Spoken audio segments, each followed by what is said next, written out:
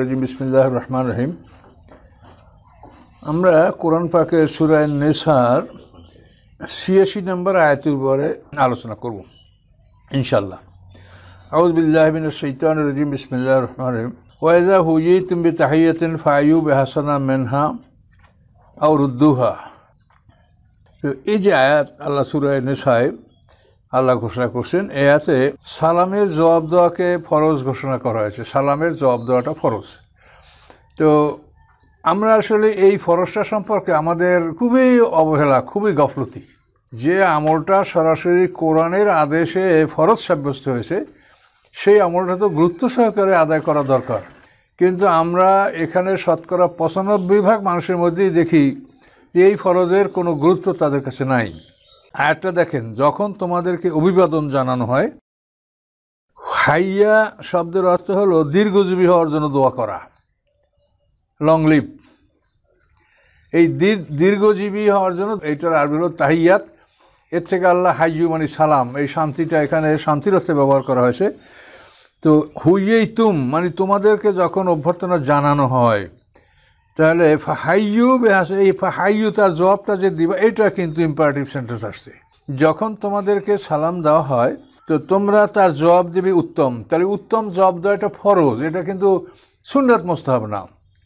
কিন্তু আমরা অধিকাংশ ক্ষেত্রে ভালো ভালো মানুষের মুখ দেখে, চেহারা দেখে সালাম দেই, কিন্তু এটা যে ফরজ, এটা তারা মনেই করে না। একটু মুখ নড়লো, হুঁ, হা, বা একটু মুখের একটু নড়াচড়া, এটা দেখতে পাইলাম। এটা কি ফরজ আদা ফরজ নামাজে রকুসে যদি ঠিক মতো করা না হয় নামাজ হবে? তো সালামের জবাব দিতে বলা হয়েছে ফাইউবে আহাসানামের না। আমি বা আপনি আমাকে যেভাবে সালামটা দিলেন, আল্লাহ বলছেন, তার সহিতে উত্তম রূপে তুমি তার জবাব দিবা। তাহলে উত্তম রূপে জবাব দেওয়াটা হলো ফরজ। এখন আপনি সালাম এবার একটু হাঁ, হুঁ করে মুখ নড়লেন কি নড়লেন না, এভাবেই পার হয়ে গেল। এটা কিন্তু শতকরা নব্বই, পঁচানব্বই ভাগ মানুষের মধ্যে এই দৃশ্যটা দেখা যায়। দেখেন, এটা কি আমি একাই বলি না, আপনারাও পরীক্ষা দেখেন যে বিষয়টা এরকম। অথচ সালাম দিতে হবে সকলকে। আল্লাহ রসুল বলছে যাকে তুমি চেনো, মান আরেফ তো আলম তারেফ। তুমি যাকে চেনো যাকে চেনো না, তুমি সবাইকে সালাম দিবে। এবং এটা উত্তম ইসলাম। সাহাবাইকার আমরা জিজ্ঞাসা করছেন জিয়া রসুল্লাহ উত্তম ইসলাম কোনটা? আল্লাহ রসুল বলছেন তুতিম উত্তম তুকরুসালাম যে তোমার মানুষকে খাদ্য খাওয়াবে, খানা খাওয়াবে এবং মানুষকে দিয়ে সালাম বলাবে। বলাবে মানে তুমি, আমি বলব সালাম বলেন না। তুমি সালাম দিলেই তার উপরে এটার জবাব দেওয়া ফরজ হয়ে যাবে। তখন সে বলতে বাধ্য থাকবে, এটা আল্লাহ বলছেন তুমি তার থেকে সালাম বলাবে। এখন এই সালামের জবাব দেওয়াটা যে ফরজ, এটা হলো ফরজে কিফায়া। অর্থাৎ আপনারা একটা বড় দল আছেন, একটা জামাত আছে, সেখানে অনেক আপনারা বসা আছেন, একজন এসে সালাম দিল। তো ওই সালামের জবাব একজনেই যদি সঠিক দেন, তাহলে জানাজার নামাজ ফরজে কিফায়া, সকলের পক্ষ থেকে সালামটা ফরজ, ফরজটা আদায় হয়ে যাবে। এটা ফরজে কিফায়া। আর যদি একা হন, তাহলে আপনাকে একা কি জব দিতে হবে? কিন্তু কোরআনের ভাষাটা আমরা বুঝব। হাইউবে হাইয়ুবে আহসানামেন আল্লাহ বলছেন যে, তোমাকে যেভাবে দেওয়া হলো, তার সাথে সুন্দরভাবে তুমি জবাবটা দিবে। তো সুন্দর কীভাবে? আমি যদি আপনাকে বলি, আসসালামু আলাইকুম, আপনি বলেন, ওয়ালাইকুম আসসালাম রহমতুল্লাহ। তাহলে আপনি সুন্দর দিলেন। আমি যে স্বরে সালামটা দিলাম, তার সাথে একটু উচ্চ স্বরে আপনি সালামটা দেন। আমি যদি বেজার মুখে সালামটি দিতে, আপনি আমাকে হাসি মুখে সালামের জবাবটা দেন। তো এটার নাম হলো আহসান, যে উত্তমভাবে তার জবাব দিতে হবে। কিন্তু পরিচয়ের বিষয়ে আমরা অনেক সময় আলেমুলামার চেহারা দেখে সালাম দেই, কিন্তু তারা আমাদের সালাম এই ভুরুক্ষেপ করে না। যদি ভুরুক্ষেপ করে, তো উহু হা করে একটু সালামের জবাব দিয়ে দিচ্ছে। এবং এটা আমাদের মধ্যে একটা প্রতিহিংসা এমনভাবে আমাদের মধ্যে সরাচ্ছে যেটা হলো আসলে এটা আন্তর্জাতিক একটা পলিসি যে মুসলমানদেরকে এদেরকে শাসন করতে হবে ডিভাইড অ্যান্ড রুল এদেরকে ভাগ ভাগ করে রাখো এবং শাসন করো। এরা যেন এক হতে না পারে। এটা তো ব্রিটিশ পলিসি তাদের কতগুলো মূলনীতি আছে? যে তাদের মূলনীতিগুলো হলো, হিন্দু পয়সায় ভোলে, মুসলমান নারীতে ভোলে, শিখ জাতি মদে ভোলে। এই সমস্ত কথাগুলি আমি স্বাধীনতার পরপরই যখন ইন্ডিয়ান পেপার পত্রিকা বাংলাদেশে আসতো তখন weekly illustrated woman who destroyed Pakistan এই নামে একটা পেপার আসছিল। তো আমি ওই পেপারটার মধ্যে আমি এই কথাগুলো দেখেছি যে তারা কীভাবে কি করে। এবং এই দেশেও তারা কি পন্থা অবলম্বন করেছে এবং পাকিস্তানি জেলাদের যে চরিত্রহীন এবং তাদেরকে খুব সহজেই নারীদের মাধ্যমেই কিন্তু খুব সহজেই তাদেরকে কাবু করা হয়েছিল। এটা খুবই জঘন্য, কিন্তু এটা আমি জানি না, ওই সময় ওই একটা পেপারে আমি weekly illustrated woman destroyed Pakistan এই নামে একটা পেপার বের হয়েছিল। সেখানে আমি এই সমস্ত কথাগুলো দেখেছিলাম আমার মনে আছে। তো এখানে আমরা মুসলিম জাতি, তো মুসলিম, হিন্দু, খ্রিস্টান, তো এই তিনটা জাতি তো ধর্মবিশ্বাসী। মুসলমানরা ধর্মবিশ্বাসী, খ্রিস্টানরা ধর্মবিশ্বাসী, আর ইহুদিরাও ধর্মবিশ্বাসী। এখন ধর্মবিশ্বাসী কথা বলতে গেলে এখানে আবার অনেক কথা আছে। ধর্ম কাকে বলে, এটা কিন্তু একটা প্রশ্ন। ধর্ম কাকে বলে? আন্তর্জাতিক আইনে ধর্ম হইতে হলে চারটে জিনিস লাগে। যে এক নম্বর হলো ফাউন্ডার অফ দ্য রিলিজিয়ন যে ধর্মের প্রবর্তক থাকবে ফাউন্ডার থাকবে। তারপরে জেনিসিস অর্থাৎ ধর্মে একটা সৃষ্টিতত্ত্ব সম্পর্কে মানুষকে সঠিক ধারণা দিবে। জেনিসিস রিচুয়াল এরপর ধর্ম পালন করার নির্ধারিত আইন কানুন থাকবে। এথিক্যাল কোড এবং ধর্মের মধ্যে কতগুলি অনুসরণযোগ্য বিষয় থাকবে, যেগুলি অনুসরণ করলে মানুষ, সাধারণ মানুষ থেকে তার মধ্যে একটা ব্যবধান সৃষ্টি হবে। নৈতিক নিয়মাবলী। তো আন্তর্জাতিক আইনে এই ধর্মের চারটা মানে ধর্ম হওয়ার জন্য এই চারটা জিনিস তারা বলেছে। যে ফাউন্ডার অফ দ্য রিলিজন তারপরে হলো জেনিসিস তারপর রিচুয়াল রাইট থেকে রিচুয়াল এথিক্যাল কোড। তো এখন এই কথাটা কেন বলা হয়েছে? ধর্মের ব্যাখ্যা আন্তর্জাতিকভাবে আসলো কেন? এটার কারণ হলো যে আপনারা জানেন যে স্কাউট একটা সংগঠন আছে, ছাত্রদের মধ্যে স্কাউট। স্কাউটটা কি? স্কাউট হলো sincere courteous obedient useful truthful এতে হয় স্কাউট। এই স্কাউটটা পৃথিবীর কোন কোন দেশে থাকবে? এর জন্য একটা আইন আছে, যারা অ্যাথিস্ট বা নাস্তিক, যে দেশের লোক ধর্ম বিশ্বাস করে না, সে দেশে স্কাউট থাকবে না। এরকম একটা আন্তর্জাতিক আইন আছে। সেইখানে তারা ধর্মের ব্যাখ্যাটা দিতে গিয়ে এই কথা বলছে। এই এই বিষয়গুলি হলো ধর্মের ব্যাখ্যা। তো যাই হোক, এগুলি আমাদের খুব বেশি না জানলেও হয়তো মোটামুটি ধর্ম আর দিন, আমরা যেটা পালন করছি এটার নাম হচ্ছে দিন। ইন্ডিয়ার দিন এন্দাল্লাহ ইসলাম। দিন মানে এটা এটা একটা জীবন বিধান। আর ধর্ম বলতে ধর্মের মধ্যেও জীবন বিধান আছে, কিন্তু দিন এবং ধর্মের এটা দুটো আপনি তুলনা করলে দিনের স্কোপের পরিধিটা অনেক বড়, ধর্মটা আর তার একটু সংক্ষিপ্ত পরিসরে। তো আমাদের কথাটা ছিল আমরা একটু দূরে চলে আসি, যে সালাম। কিন্তু এই যে আমরা সালাম বিনিময় করব, এটা হলো শান্তি বিনিময় করা এবং একজনকে, একজন আর একজনকে দীর্ঘজীবী হওয়ার জন্য তার জন্য প্রার্থনা করা। যে তুমি দীর্ঘজীবী হও। তো এখন এই সালামের ব্যাপারে এটা কোরআনের নির্দেশ, দেখেন। কিন্তু আমরা এমনভাবে সমাজ বিভক্ত যে এই সালাম দেওয়ার ব্যাপারেও টুপি দেখে সালামের জবাব দেওয়া তো দুঃখের সহিত বলছি যে আমার মাথায় কি টুপি, এটা দেখলে অন্য দলের ভাইরা বুঝতে পারেন যে উনি কোন দল। কারও টুপি আছে পাঁচকল্লি টুপি মানে পাঁচকল্লি মানে ইসলামের ভিত্তি তো পাঁচটা। কলেমা, নামাজ, রোজা, হজ জাকাত এই পাঁচটা বেনা ভিত্তি। এই পাঁচ ভিত্তিকে বিন্দুকে কেন্দ্র করে, এটার ভিত্তি করে তারা একটা পাঁচকল্লি টুপি মাথায় দেন, যে এই টুপিটায় পাঁচটা পার্ট আছে, পাঁচকল্লি। তাহলে এর দ্বারা বোঝানো হচ্ছে যে কলেমা, রোজা, নামাজ সজ্জা ইসলামের বেনা। এই বেনার নিদর্শন হিসেবে তারা পাঁচকলি টুপি ব্যবহার করেন। তো এখন এই পাঁচকলি ব্যবহার করা টুপি একদল আলেমলামা আছেন সমাজে। আর আমরা যে যেভাবে একটু গোল টুপি ব্যবহার করি, এ ধরনেরও একটা মানে মানুষের এই পোশাকের একটা দৃষ্টান্ত বা এই পোশাক নিয়ে চলাফেরা করা মানুষ আছে। কিন্তু আমি অত্যন্ত দুঃখের সহিত বলছি যে, আমরা যখন ওই শ্রেণির কাছে সালাম দেই, তো অনেক সময় সবাই সমান না।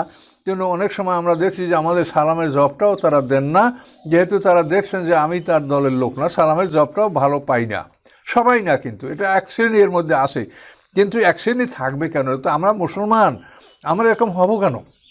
আর এই সালামটা তো আমি দিলাম আর আপনি নিলেন, এটা তো বিষয়টা তো আল্লাহর। এটা তো কোরআনে স্পষ্ট বলা আছে, এটা তো কোনো মহকাম আয়াতে এটা বলা। এবং সালাম এর জব দেওয়া যে ফরজ, এতে তো কোনো কোনো আলেমদের মতভেদ নেই, এটা ফরজ দিতেই হবে। এখন নিয়ম হলো আল কায়েম আল আলাল কায়েদ আর রাকিব আলাল মাসি। যে দাঁড়ানো ব্যক্তি বসা ব্যক্তিকে সালাম দেবে, যে ব্যক্তি রাকেব আলাল মাসি, যে সওয়ারির উপরে আছে, অর্থাৎ গাড়ি ঘোড়া উঠে, সে যে পদব্রেজে অর্থাৎ পেডেস্টেরিয়ান যে পায়ে হাঁটে চলে তাকে সে সালাম দিবে। ছোট দল, বড় দলকে সালাম দিবে। এভাবে সালামের কত নির্দেশ আল্লাহ রসুল দিয়েছেন। এখন এই সালামের জবটা হচ্ছে, ওয়াজিব এই সালামের জব আমাদের দিতে হবে এবং এটা অজিব বা ফরজ ফরজে ভায়া তো এখন এই সালামের ব্যাপারে বর্তমান যুগে মানে কিছু একটু নূতনত্বতা দেখা যায় যে অনেকে বলেন সালামুন আলাইকুম মানে আসসালামু আলাইকুম বলেন না। এবং এটা মনে হয় যে একটা প্রচলন শুরু হয়ে গেছে এমন যে আসসালামু আলাইকুম বললে মানুষের একটু কেমন কেমন একটু নিজেকে একটু কেমন মনে করেন যেটা হলো না মনে হয়। যেহেতু কোরআনে আছে সালামুন আলাইকুম ওয়াইজা জাহাকাল্লাদিন মুনিনা ফাকুল সালামুন আলাইকুম, যে কোরআনে আল্লাহ তালা রাসুলকে বলেছেন যে আপনার কাছে যখন ওই দরিদ্র মোমেনরা আসে, তখন আপনি তাদেরকে সালাম দেন, সালামুন আলাইকুম। এখন কোরআনে সালামুন আলাইকুম আছে এই জন্য আপনি সালামুন আলাইকুম এর সালাম এটা আপনি ব্যবহার করছেন। আসসালামু আলাইকুম এটা আপনি ব্যবহার করছেন না, এবং ব্যবহার করলেও আপনার চেহারায় একটা অপছন্দের ছাপ বেরিয়ে আসে যে এটা আপনি পছন্দ করেন নাই। কিন্তু আসলে কি এটা ঠিক? মানে পৃথিবীর মানুষ সবসময় কেবল নূতনত্ব চায়? নূতন নূতন। এখন সালামের ব্যাপারেও আমরা আধুনিক হইয়া সালামুন আলাইকুম বলব, আসসালামু আলাইকুম প্রাচীন প্রথাকে বাদ দেব। তো আমার কথা হচ্ছে যে আপনি সালামুন আলাইকুম যেরকম কোরআন থেকে পেলেন, আপনি আসসালামু আলাইকুম, আসসালাম এটাও তো আপনি পাবেন। সালামুন আলাইকুম আর আসসালামু আলাইকুম, এর ব্যবধান হলো আসসালাম যদি বলেন, তো আরবি গ্রামানুসারে যে এই আলিপ্লাম এই আলিপ্লামটায় সমস্ত শান্তির কথা আপনার বলা হবে। যেমন আলহামদু বলতে সমস্ত প্রশংসা আল্লাহর, এই এই আলহামদ মানে প্রশংসা। সেখানে একটা আলিফলাম আপনি বসানোর কারণে সমস্ত প্রশংসা অর্থ করলেন। তো আসসালামে যদি আপনি আলিফলামটা ব্যবহার করেন, তো সমগ্র শান্তি এটা বুঝাবে। তাহলে সালামুন আলাইকুম আর আসসালামু আলাইকুম মানে আসসালামু আলাইকুম কি ক্ষতিকর না লাভজনক, দেখবেন না আপনি? আলহামদুতে সুরায় আলিফলাম ভাতে আলিফলামটা লাগানোর কারে আপনি তর্জমাটা কি করলেন? সমস্ত প্রশংসা আল্লাহর। তাহলে আসসালাম যদি আপনি বলেন, তো সমস্ত শান্তি এটা বলা হয়। তাহলে এটা কি আপনি অপছন্দ মুখ করেন, খারাপ করেন? এবং আল্লাহ তো আসসালাম শব্দ কোরআনে ব্যবহার করছেন। সুরায় তোহার মধ্যে আছে, আসসালামু আলাম আলিত্তাবালহু দেখেন আসসালাম আছে না? সুরায় মরিয়ামে আসসালাম আছে না? আসসালামু আলিয়া ইয়ামা উলিত্তু ইয়ামা আমুতু ইয়ামা উবা সুহাইয়া এই তো মরিয়ামে, এই আছে না সুরায় মরিয়ামের মধ্যে, দেখেন?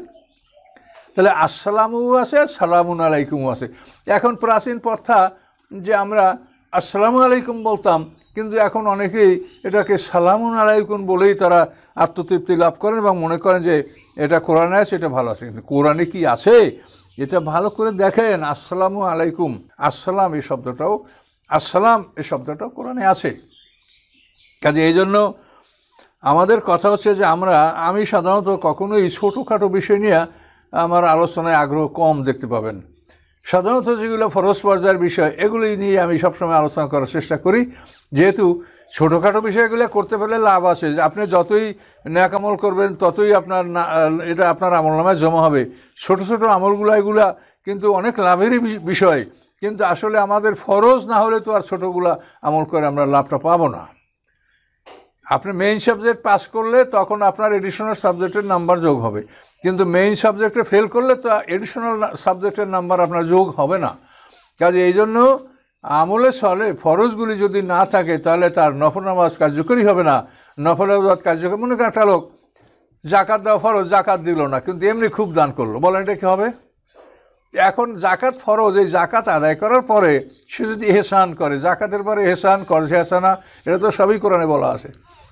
এখন জাকাত দেওয়ার পরে যে এহসান করবে কর্জ হাসানা দিবে, এটাই তার অবশ্যই সব হবে। কিন্তু জাকাত না দিয়া কর্জ হাসানা বা এহসান করলে কি সব হবে? হবে না। এই জন্য ফরজ পালন করতে হবে আগে। এই জন্য আমি সাধারণত ফরজ বিষয়গুলোকে গুরুত্ব দিয়ে থাকি এবং ছোটোখাটো আমলগুলি এর মধ্যে করা এবং না করার মধ্যে যে সমস্যাটা হয়, সেখানে আল্লাহর পক্ষ থেকে কিছুটা ছাড় আছে। আল্লাহ বলছেন নুকাফের আনকুম সাইয়াতিকুম। তোমরা যদি বড় বড় অপরাধগুলি বর্জন করো, তাহলে আমি তোমাদের ছোট ছোট পাপগুলিকে আমি আমি মাফ করে দেব। গুনায় কবিরা যেগুলির থেকে সরাসরি কোরআনে নিষেধ আসছে। গুনায় কবিরা বলতে কোরআনের ব্যাখ্যা এটাই বলা হয়েছে যে একটা কাজ করতে বলা হয়েছে, না করলে তার শাস্তি উল্লেখ করা হয়েছে। এটা গুনায় কবিরা। যে নামাজ পড়ো, না পড়লেই শাস্তি। গুনায় কবিরা। তুমি রোজা রাখো, রোজা না রাখলে তোমার এই ক্ষতিপূরণ তো যে কাজটা করতে বলা হয়েছে, না করলে শাস্তির ঘোষণা করা হয়েছে, গুনায় কবিরা। আবার যে কাজটা করতে নিষেধ করা হয়েছে, করলে শাস্তি উল্লেখ করা হয়েছে, এগুলি গুনায় কবিরা। চুরি করো না, নিষেধ করা কিন্তু চল, করলে হাত কাটা। তো এইটা চুরি করাটা, এটা গুনায় কবিরা। যে অপরাধগুলি করতে বারণ করা হয়েছে এবং করলে শাস্তির উল্লেখ করা হয়েছে, যে কাজগুলি করতে আদেশ দেওয়া হয়েছে, পালন না করলে শাস্তির উল্লেখ করা হয়েছে, এই সকল বিষয়গুলি এগুলি সরাসরি করোনার আয়তে গুনায় কবিরা। আর যে সমস্ত আয়াতের সামনে হুবান কবিরা, গজাবাল্লাহ আলিহিম লানাতুল্লাহ এই সমস্ত কথা যেখানে আছে, সেই আমলগুলোকেও গুনায় কবিরা এর মধ্যে ধরে নেওয়া হয়েছে কোরআন পাকের বিধান অনুযায়ী। তো এই ছোট বিষয়গুলো আল্লাহ তালা ক্ষমা করার ঘোষণা দিয়েছেন। এই জন্য ছোটোগুলো অবহেলা করা হবে না। এগুলিও আপনার ন্যাকামলের সাথে যোগ হলে আপনার অনেক লাভ হবে। পরকালে আপনার জান্নাতের উন্নত মর্যাদা পাবেন। ছোট আমলগুলো করতে হবে, কিন্তু বড়গুলো, ফরজগুলো প্রতি লক্ষ্য রাখতে হবে। তো আমরা এই যে ফরজ, এই যে সালাম জিনিসটা ফরজ এইটা সচেতনতা সচেতনতা সমাজে নাই। এটা আমি যেটা বাস্তবে দেখছি আমি খুবই দুঃখিত। অবশ্য আপনারাও লক্ষ্য করবেন যে সালাম যে একটা ফরজ, এই হিসাবে কিন্তু এটাকে মানুষ পালন করে না। এটাকে মনে করে যে আমি কোনোভাবে একটা জব, যেন তেনভাবে জব দিয়ে দিলেই হইল। কোনো একটু, আমি আসসালামু আলাইকুম বলছি, উনি একটু মুখ নাড়াইয়া বলল স্বাভাবিক। তো এভাবে হবে না। এটা আল্লাহ বলছেন, কোরআনে যা বলছেন তাই দেখেন। ওয়েজা হুইয়ে তুমবে তাহাইয়াতেন ফাইউবে হাসানামেন না যে তোমাকে যখন সালাম দেওয়া হয় তুমি তার সাথে উত্তম জবাব দিবে।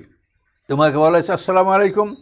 তুমি বলো, ওয়ালাইকুম আসসালাম রহমতুল্লাহ তোমাকে বলা হয়েছে, আসসালামু আলাইকুম রহমতুল্লাহ তুমি বলো, আসসালামু আলাইকুম আলাইকুম রহমতুল্লাহ বারাকাতুহু এখন যদি উনিও বলে, আসসালামু আলাইকুম রহমতুল্লাহ বারাকাতু তুমিও ওটাই বলে, সে বেশি বলার অধিকার নাই। হজরত এমনি আব্বাস আদি আল্লাহ তালানুকে বরকাতুর পরে আরও কিছু বেশি বলেছিল কোনো এক লোক। তিনি তাকে বারণ করেছেন যে বারাকাতুর পরে মগফরাতুর, রেদওয়ানহু এরকম কেউ বলে থাকে, এটা বলার অনুমতি নাই। ইবনে আব্বাস বলছেন, না, এর বাইরে তুমি বলবে না। আসসালামু আলাইকুম ও রহমতুল্লাহ ও বারাকাতু এর বেশি না। তো এভাবেই সালামের পদ্ধতি, কোনো হাদিসে আসে আল্লাহ রসুল বলছেন, তিনি এক মজলিসে আসেন তো একটা লোক এসে বলল, আসসালামু আলাইকুম। আল্লাহ রসুল জবাব দিলেন এবং সে লোকটা বসল, বসতে বলা হলো এবং আল্লাহ রসুল বললেন, দশ। আর একটা লোক এসে বলে, আসসালামু আলাইকুম রহমতুল্লাহ। আল্লাহ রসুল তাকে বসতে বলেন এবং বলেন যে, বিশ। আর একটা লোক এসে বলল আসসালামু আলাইকুম রহমতুল্লাহ বারাকাতু। আল্লাহ রসুল বললেন, তিরিশ।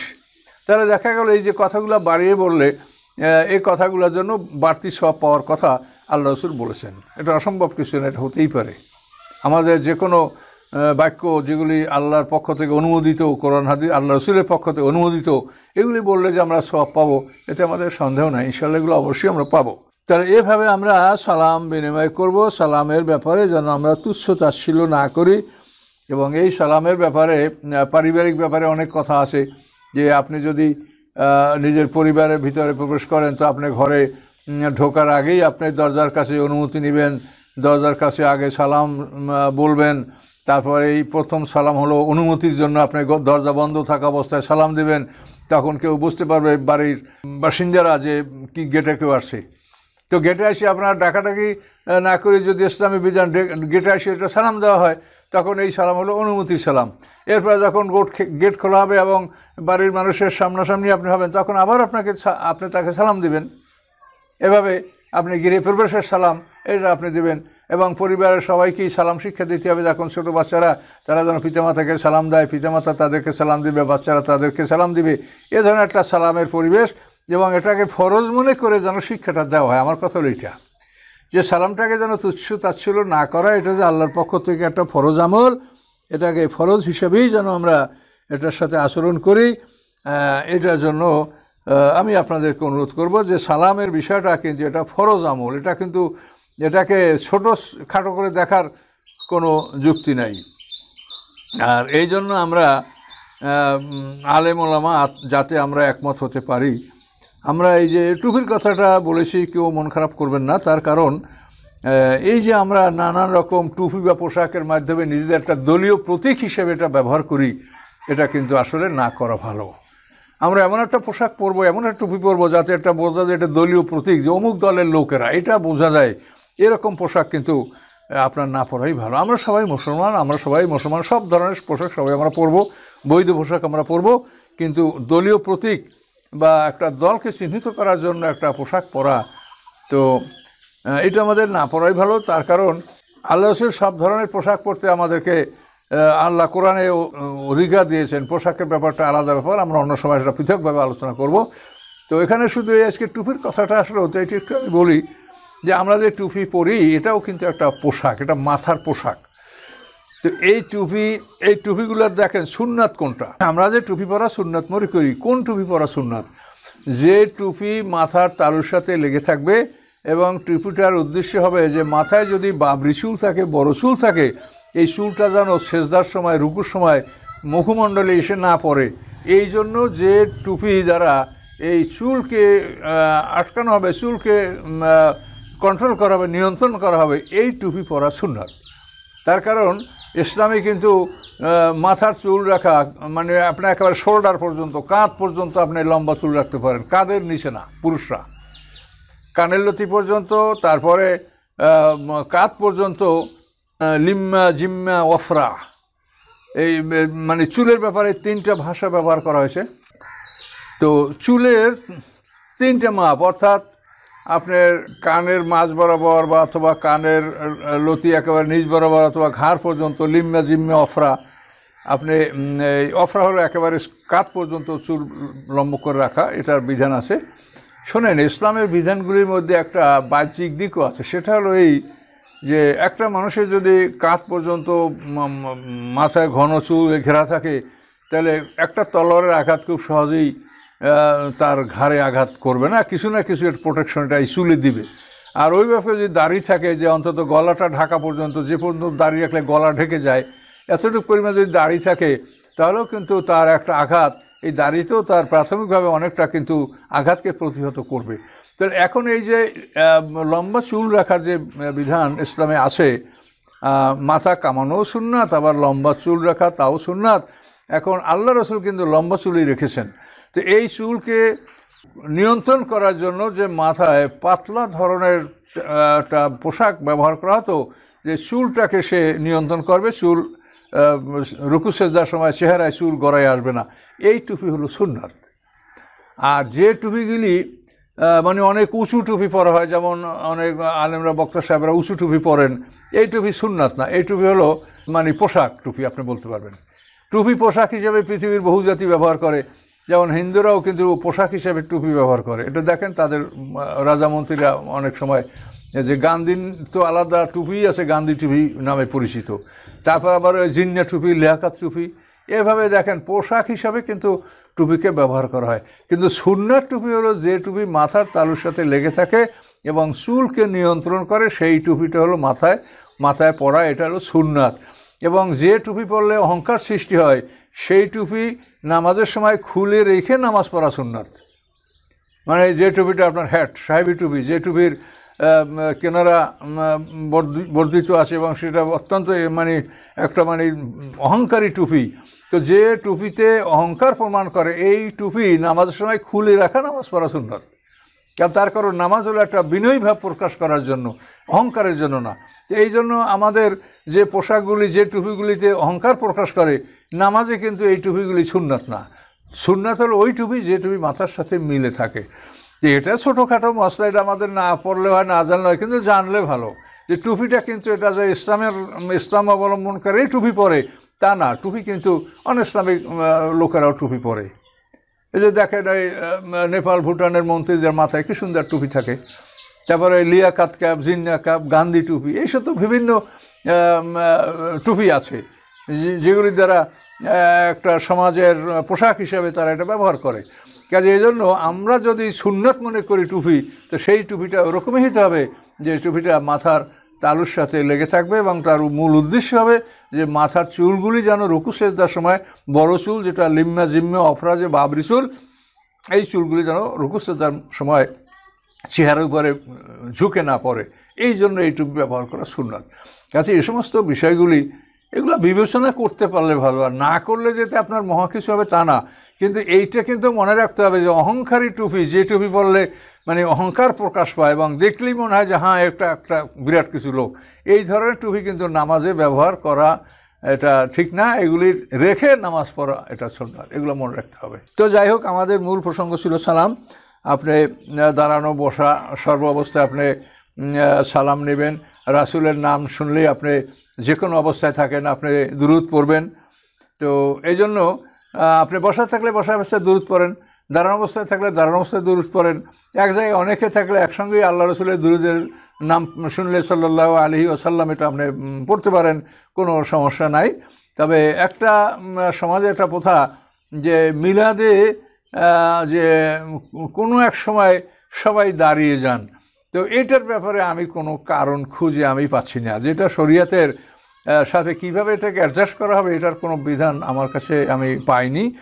সাহাবাহিকের আমরা আল্লাহ রসুলকে দাঁড়িয়ে সালাম দিয়েছেন, সানাইয়াতুল বেদাইতে। সেটা হলো তাকে অভ্যর্থনার জন্য তারা আগেই সেখানে যে দাঁড়িয়েছিলেন। এজন্য তারা দাঁড়িয়েই আল্লাহ রসুলকে সালাম দিয়েছেন। তো আপনিও যদি দাঁড়িয়ে থাকেন দাঁড়ানো অবস্থায় আপনিও সালাম দেন, কোনো সমস্যা নাই। কিন্তু যেখানে আপনি নিরাপদে, সুন্দরভাবে বসা আছেন, সেখানে আপনি দাঁড়াবেন কী জন্য? এইটার কারণ আমি খুঁজে পাই না। বসাবস্থার থেকে দাঁড়ানোর কি কারণ আছে যে আপনাকে দাঁড়াতে হবে? এইখানে যদি কেউ মনে করে যে রসুল্লাহ রুহু হাজির হয়ে গেছে তাহলে আপনারা বলেন তো, পৃথিবীতে কত জায়গায় একসাথে মিলাদ হয়? তা আল্লাহ রসুল কত জায়গায় গেল? আল্লাহ রসুল তাহলে এই এই ধরনের আকিদে রাখাতে সম্পূর্ণ শেরক হবে। যে আপনি দাঁড়াইছেন কেন? আপনি রসুলের দুরুল সালাম পড়তে আসেন এই জন্য রসুল সালামের রুহু হাই হাজির হয়ে গেছে। তাই মানুষের রুহু কটা থাকে? বা এইভাবে রসুল ইসলামের রুহু মিলাদের মৌসুমে, মিলাদের সময় আপনারা যে সময় দোয়াটা পড়েন সেই সময় যে রসুলের রুহুটা হাজির হয়ে গেল, এই ধরনের আকিদা কিন্তু শেরক। কাজে এই জন্য এগুলো নিয়ে আমাদের বাড়াবাড়ি করা ঠিক না, সমাজে এ নিয়ে বহু ঝগড়া, তর্কা, এমনকি কোনো কোনো ক্ষেত্রে মারামারি পর্যন্ত পৌঁছে, কিন্তু এগুলি ঠিক না। এগুলি আপনারা কোরআন, হাদিসে যা আছে সেইটা মানেন। রাসুলের প্রতি সালাম, এটা আল্লাহ আদেশ, এই সালামাকে দিতেই হবে এবং রাসুলের নাম শুনলে দূরত পরে অজীব। এটা পড়তেই হবে। কিন্তু যে যে অবস্থায় সেই অবস্থায় আপনি পড়েন। কিন্তু আপনারা সবাই বসা আছেন, সেখান থেকে হঠাৎ করে সবাই দাঁড়িয়ে গেলেন। তো কী মনে করলেন? এটা দাঁড়ানোর কারণটা কি? এটার কারণ কিন্তু অনুসন্ধান করে পাওয়া যাচ্ছে না। সাহাবাইকরা আমরা দাঁড়িয়ে সালাম দিয়েছেন। সেটা হচ্ছে তারা অভ্যর্থনার জন্যই তারা আগের থেকেই রেডি ছিল যে আল্লাহ রসুল আসবেন মক্কা থেকে কোনখানে সানিয়াতুল বেদাইতে তারা সবাই দাঁড়িয়ে তাকাই ছিলেন যে আল্লাহ রসুল আসতেছে। তখন তাকে তারা দাঁড়িয়ে সালাম দিয়েছেন। এটা তো একটা লিগাল কারণ আছে। কিন্তু আপনি তো বসা আছেন। কিন্তু এখানে দাঁড়াবার কোনো কারণ পাওয়া যাচ্ছে না। কাজে এটি হলো একটা ব্যাপার। এটা হানাফি সম্প্রদায় কিন্তু এটা খুব বেশি করে পালন করেন। আমিও হানাফি মানে অর্থাৎ আবু হানিফাকে আমি ইমাম হিসেবে মানি, কিন্তু আমি নিজে হানাফি না। হানাফি বলতে যেটা সম্প্রদায় দল, এটা আমি স্বীকার করি না। তার কারণ আমাদের শরিয়াত আল্লাহ তালা কোরআনে বলছেন, দিন ইসলাম, আমরা দিন ইসলামের অন্তর্ভুক্ত মানুষ। তো আবু হানিফা যেহেতু সে সিনিয়র আলেম, সিনিয়র ইমাম এবং তিনি তাবেই তার সমপর্যায়ের অন্য কোনো ইমাম নাই। এই জন্য আমরা সিনিয়র হিসেবে তাকে আমি তাকে ইমাম মানি বা কোনো একটা মশলার সমাধান হলে তার কাছ থেকে খুঁজে নেওয়ার চেষ্টা করি। কিন্তু আমি এই জন্য হানাফি না বা হানাফি মজাহের লোক না। কাজে এই হানাফি সম্প্রদায় বলতে যারা নিজেদেরকে দাবি করেন, তাদের মধ্যেই কিন্তু এই বিষয়টা লক্ষ্য করা যায়। কাজেই শয়তান কিন্তু সবসময় আমাদের পিছিয়ে লেগে আছে। আপনি কারোর সাথে শত্রুতা করবেন কারোর সাথে জিত করবেন জিত করে আর নিজে যদি সেরকের মধ্যে ঢুকে যান, তাহলে কিন্তু আপনার জীবনের সব কিছু বরবাদ হয়ে গেল। এই জন্য কখনোই কোনো আলেমের ব্যাপারে আপনি মনে করবেন না যে ওরা বলছে শুনব কেন? এটা যেন না আসে। আহলে হাদিসের আনবি বলছে শুনব কেন? আবার আহলে হানাফি আনবি বলছে শুনব কেন? এইটা কিন্তু আপনার মস্ত রোগ। এটা যেন না থাকে। হোক সে আলে হাদিসের আলেম, সে যদি সত্য কথা বলে আপনি শোনেন। হোক হানাফি আলেম, সে যদি সত্য বলে আপনি শোনেন, কিন্তু আপনি যদি আগেই চিহ্নিত করেন যে উনি কোন আলেম, ওনার কথা শুনব না, তাহলে কিন্তু আপনি বিপদগ্রস্ত হয়ে যাবেন। তার কারণ আল্লাহ তালা আমাদেরকে কী শিক্ষা দিয়েছেন কোরআনে? যে সমস্ত নবী রসুলদের উপরে তোমাদের ইমান আনতে হবে। যে সমস্ত নবী রসুলদের উপরে যদি ইমান আনা লাগে, তো নবী রসুলদের পরে অরাসাতুল আম্বিয়া যারা, তারা সমস্ত আলেমদেরকে সম্মান করতে হবে না বলেন? ওইটাই, এইটা বলে কিনা? আপনাকে ইমানের ক্ষেত্রে বলা হয়েছে যে সমস্ত নবী রসুলদের উপরে তোমার ইমান আনা ফরজ। যে নবী রসুলদের পরে কারা? ওলামাই কেরাম আল ওলামা রাসুল আম্বিয়া, তাহলে সমস্ত আলেমদেরকে সম্মান দেওয়া আপনার জন্য ফরজ। সমস্ত আলেমদের কথা আপনি শুনবেন, মনোযোগ দিয়া। ভালো হলে মানবেন, ভালো না হলে মানবেন না। কিন্তু সমস্ত আলেমকেই আপনাকে সম্মানের সহিত ট্রিট করতে হবে। তা নাহলে কিন্তু মনেও যদি আপনার বিদ্বেষ থাকে যে উনি আমার দলের আলেম না, উনাকে আমি তুচ্ছতা ছিল তাহলে তাহলে আপনি বিপদে কিন্তু পড়বেন। মনের খবর আল্লাহ জানেন। কাজে এই জন্য আমরা যথাসম্ভব ভালো কাজ করার চেষ্টা করব এবং নিজে পরকালের জন্য আসামি হইয়া না যাই। আমরা সবাই বিচারের সম্মুখীন হব। ইয়মা তুবুল্লা সারায়েরও হামালাহমেন কুমতওয়ালা নাসের। সকল রহস্যগুলি উন্মোচিত হবে, সকল রহস্যগুলি প্রকাশিত হয়ে যাবে, কোনো কিছুই গোপন থাকবে না এবং তখন এই আসামির পক্ষে এগুলিকে ঠেকানোর কোনো ক্ষমতাও থাকবে না। তো এই জন্য আমরা মোটামুটি সালামের বিষয়টা একটা ফরজ। এই বিষয়টার উপরে যেন আপনারা গুরুত্ব দেন এবং মানুষকে বোঝাবার চেষ্টা করেন যে সালামের বিষয়টা উপেক্ষা করা হচ্ছে কেন? এটা তো ফরজ, এটা তো ছোটোখাটো বিষয় নয়। এটা তো আল্লাহর আদেশ। বা হাইয়ু এটা ইম্পারেটিভ সেন্টেন্স আমরের শিগা যে তোমরা যেভাবে সালাম পাচ্ছ, তার সাথে উত্তম জব দাও। আর ওই সালামুন আলাইকুম আর আসসালামু আলাইকুম, এটা নিয়েও যেন আবার একটা দলাদলি সৃষ্টি না হয়, যে আমরা সালামুন আলাইকুম বলব। সাধারণত যারা কোরআনকে বেশি প্রাধান্য দেন, দেখছি তারা আমাকেও সালাম দেন ওভাবে সালামুন আলাইকুম। তা আসসালামু আলাইকুম আসসালামু তো কোরআনে আছে কাজে আপনি সালামুন আলাইকুম যেমন কোরআনে আছে আসসালামু আলাইয়া ইয়ামা উলিত্তু এটা সুরে মরিয়ামে আছে ইসা আসলাম বলছেন। সুরায় তো হয় আছে, আসসালাম আল্লাহ মানে তাবার আসসালাম তো আছে। কাজে এই বিষয়গুলি বিবেচনা করতে হবে। আমার ইন্দল বাক আসসালামু আলাইকুম রহমতুল্লাহ বরকাত মৃত্যুর দামি যারা দেহেস্তু নাই কিনে